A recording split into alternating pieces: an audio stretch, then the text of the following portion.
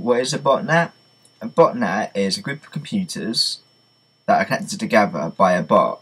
A bot is installed or attempted to be installed by a hacker. Once they've got affected computers with the bot, this could be 10,000, 50,000, or 80,000, or a big, huge number. They can use this connection or bot called a botnet to do harm to people over the internet. They could use the botnet to send out email spam. Um, as your as their computer would not be sending spam out themselves, it would be the thousands of computers that are connected in the botnet that would be sending out the spam. They can also use this to DDoS, denial of service, a website. This is when they get all of the computers affected. You quickly go to the website thousands of times a second and destroy the um, website so it can no longer be used due to the fact that it's getting so many connections so quickly from all over the world, making the server crash. They can also use the botnet to steal personal information about you or people, other people around the internet by communicating with all the other computers and seeing what particular people are using on the internet, um, where they go. They could also control your computer via your the botnet. They can change your computer background, open your CD drive, or something like that. They can literally control your computer um, as if they were using it and they were the sole, sole owner of the computer sitting in front of it.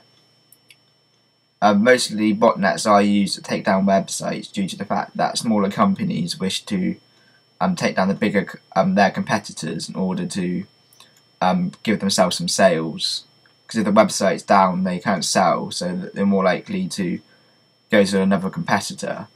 This often happens in smaller countries or poorer countries like India. This is where a lot of the botnets originate from. So, a botnet is basically a way for a hacker to control millions or if not thousands of computers all at once to take down websites, steal your identity, change your computer background, use a computer at the same time as you're you're using it without them realizing, as if there's a second user on your computer using the computer behind you, so you wouldn't have any clue that they're using a botnet. To find out more information about not botnets, head over to my website, link in the description below this video. You'll typically find us talking tech 24 7. Um, you can also participate in our live video streams where we have a live chat room typically above my head um, that you can participate in. If you have any questions, drop me a PM here at YouTube or wherever you're watching this video, or email me martin at felxo.com, link down here. Or alternatively, with, the live videos and we do, you can call me and I can answer your question live with the community at large. And um, until next time.